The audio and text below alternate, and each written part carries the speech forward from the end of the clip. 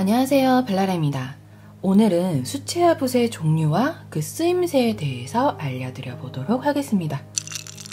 먼저 붓을 크게 세 가지 종류로 나눠서 설명을 드릴 거예요. 둥근 붓과 납작붓, 그리고 특수 붓으로 나눠보도록 하겠습니다. 자, 먼저 둥근 붓입니다. 단면이 동그랗게 되어 있는 붓을 둥근 붓이라고 합니다. 자, 가장 흔하게 생긴 둥근 붓은 이러한 형태입니다. 손잡이는 우드로 되어 있는데 페인트 칠이 되어 있는 것과 그리고 이렇게 되어 있지 않은 붓으로 나뉘어지고요. 붓 모와 손잡이 사이에는 이렇게 물이 닿아도 부식되지 않는 재질로 되어 있습니다. 우리가 흔히 둥근 붓을 가장 많이 이용하잖아요. 그 이유는 옆면을 이렇게 사용했을 때 넓은 면적 채색이 가능하고 그리고 붓을 세웠을 때는 아주 좁은 면적 묘사도 가능하기 때문에 multi라고 보시면 되겠어요. 그렇기 때문에 둥근 붓을 가장 많이 이용합니다.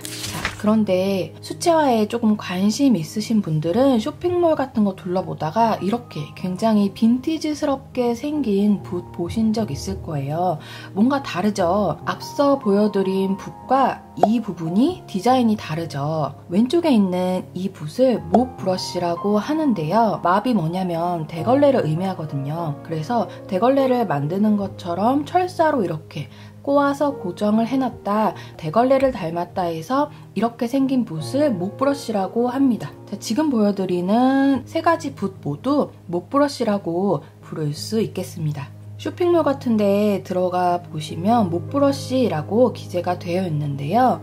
이제는 아실 수 있겠죠? 아, 몹이 대걸레니까 대걸레처럼 이렇게 철사끈으로 고정되어 있는 브러쉬를 목브러쉬라고 하는구나 라고 생각을 하시면 되겠습니다. 자, 분모를 살짝 볼까요? 원래는 흰색인데 양모 붓이기 때문에 물이 굉장히 잘 들어요. 제가 아무래도 이전에 초록색 물감을 사용했던 것 같습니다. 양모는 굉장히 부드러우면서도 붓터치가 거의 남지 않기 때문에 넓은 면적을 칠할 때 많이 쓰입니다. 제가 좋아하는 브러쉬 중에 하나예요. 자, 그 다음에 또 독특한 둥근부 브러쉬 소개를 해드려 보도록 하겠습니다. 손잡이 부분을 이렇게 빼서 닫으면 휴대가 가능한 붓인데요. 우리가 뭐 어반이나 야외에서 풍경화 그릴 때 많이 사용이 되는 붓이에요. 이렇게 붓 보관을 해두면 붓모 부분이 상하지도 않고 그리고 크기도 반으로 줄어들기 때문에 아주 편리합니다. 다시 사용할 때는 이렇게 뒤에 꽂아서 손잡이로 사용하실 수 있는 붓이에요. 자, 이런 붓도 있다는 거 알려드렸고요. 또 독특한 분모의 둥근무 브러쉬 소개를 해드릴게요. 자세히 보시면은 두 개의 붓털로 이루어져 있는데요. 가운데 부분은 인조모예요. 안에 들어가 있는 뾰족한 인조모 있고요.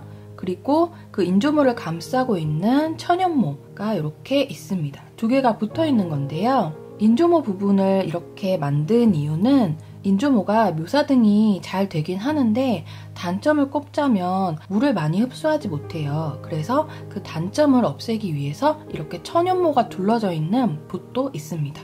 그 다음에는 납작붓 종류를 알려드려 보도록 할 건데요. 지금 보시는 것처럼 위에서 봤을 때 살짝 눌려있는 단면이 눌려있는 붓을 납작붓 류라고 부릅니다. 그래서 이거는 윈저인 뉴튼 납작붓인데요.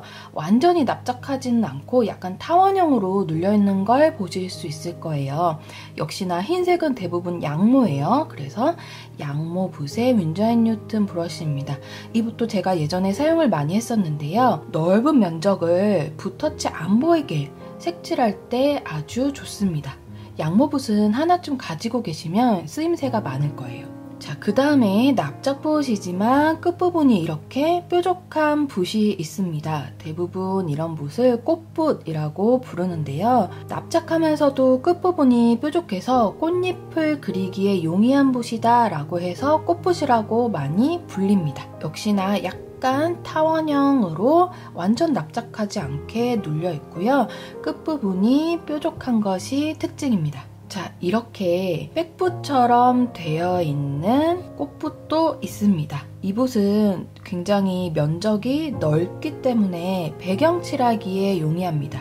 지금 제가 만지고 있는 이 부분을 사용해서 배경등을 색칠하기에 용이한 붓이에요. 백붓이라는 말도 들어보셨을 것 같은데요. 백이 영어로 배경이라는 뜻이잖아요. 그래서 넓게 넓게 배경 칠하기 좋다 해서 이렇게 널찍한 붓을 백붓이라고 부릅니다. 자, 이것도 백붓인데요. 얘는 직사각형으로 생겼죠. 그리고 조금 더 납작한 모양입니다. 털은 인조모도 있고 천연모도 있는데 붓터치 물 많이 머금고 넓게 넓게 부드럽게 칠하고 싶은 분들은 천연모 사용하시면 되고요. 약간 붓터치가 보이게 칠하고 싶은 분들은 인조모 사용하시면 되겠습니다.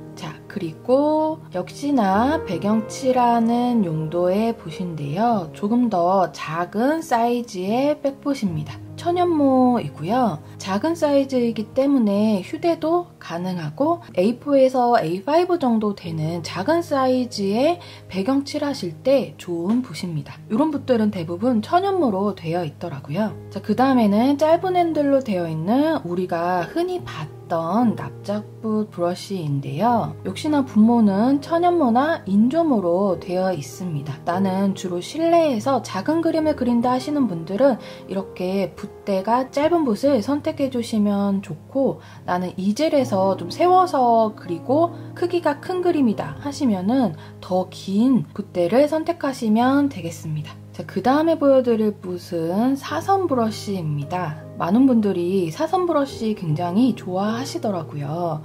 그런데 초보분들은 어, 이 브러쉬 좀 특이하긴 한데 도대체 어떻게 쓰나 라고 궁금해하시는 분들이 많으시더라고요. 그래서 제가 알려드려 보도록 하겠습니다. 자, 뾰족한 부분이 있고 이렇게 사선으로 넓은 면이 있잖아요. 그래서 넓은 면적을 한꺼번에 칠할 때는 이쪽 부분으로 사용을 해주시면 좋아요. 그리고 나는 이제 묘사가 좀 필요하다 하시는 분들은 붓끝을 사용해서 이렇게 뒤집어서 묘사를 해주시면 좋습니다. 저는 특히나 풍경 수채화할 때 이 사선 브러쉬가 아주 용이하더라고요. 자, 방금 보여드린 사선 브러쉬는 인조모이고요. 이렇게 귀엽고 독특하게 생긴 천연모 사선 브러쉬도 있습니다. 천연모는 인조모보다 대부분 힘이 없는 대신에 물먹음이 아주 좋습니다. 그래서 핸들링이 초보분들은 조금 어렵다고 생각하실 수 있는데요. 하지만 그게 마냥 단점으로 자리 잡지는 않습니다. 이 붓으로는 이렇게 물결을 그리거나 또는 멀리 있는 나무 잎사귀 등을 그릴 때 사용하시면 아주 효과적으로 표현을 하실 수가 있어요. 그리고 크기가 작기 때문에 얼마든지 휴대도 가능합니다. 자, 이제 특수붓 소개를 드려보도록 하겠습니다. 자, 지금 보시는 붓은 고무붓이에요. 왜 고무붓이냐? 끝부분이 이렇게 고무로 되어 있기 때문에 고무붓이라고 부르고요. 물감을 채색할 때 쓴다기보다는 우리 마스킹액 있잖아요. 마스킹액을 붓으로 쓰면 붓을 많이 버리게 되잖아요. 그럴 때 이 고무붓으로 마스킹액을 찍어서 사용하면은 붓도 버리지 않고 굉장히 오랜 기간 사용이 가능합니다. 그렇기 때문에 이런 고무붓도 있다는 거 알아두시면 좋고요. 자, 그 다음에는 지우개 붓입니다. 소리를 들어보시면 굉장히 거친 털로 되어 있어요. 그래서 300g 이상의 종이에서 수채화를 그리실 때 이렇게 내가 지우고 싶은 부분을 이걸로 긁어서 살살살살 긁어서 지우실 수가 있습니다. 여러 가지 기법에 사용되기 때문에 하나쯤 구비하고 계셔도 좋을 거예요. 자, 또 독특한 브러쉬 하나 보여드리면 자, 이런 포크 모양의 브러쉬가 있는데요. 납작붓 모양인데 끝부분이 이렇게 포크처럼 갈라져 있는 붓입니다. 이런 붓은 사용해보면 이런 스트로크가 나오는데요. 자, 풍경화에서 이렇게 풀을 그릴 때 사용이 되기도 합니다. 한 번에 여러 개의 풀을 그릴 수 있기 때문에 굉장히 쉽게 그리실 수 있어요. 또는 이렇게 여러 번 layering 해서 멋진 배경을 만드실 수도 있습니다. 굉장히 재미있는 브러쉬죠? 자, 그 다음 소개시켜 드릴 특수 붓은 워터 브러쉬입니다. 워터 브러쉬는 일단 이 안에 소리 들리시죠? 물이 들어있기 때문에 물을 따로 휴대하고 다니지 않아도 바깥에서 사용하시기 굉장히 용이한 브러쉬예요. 사용을 하다가 물을 이렇게 짜낸 다음에 물감을 묻혀서 그림을 그려주세요. 그 다음에 닦아내실 때는 티슈 같은 거 있죠? 다시 여기 손잡이 부분을 꾹꾹 누르면 물이 나오거든요. 그래서 휴지에 묻혀가면서 눌러주시면 붓이 다시 깨끗해집니다.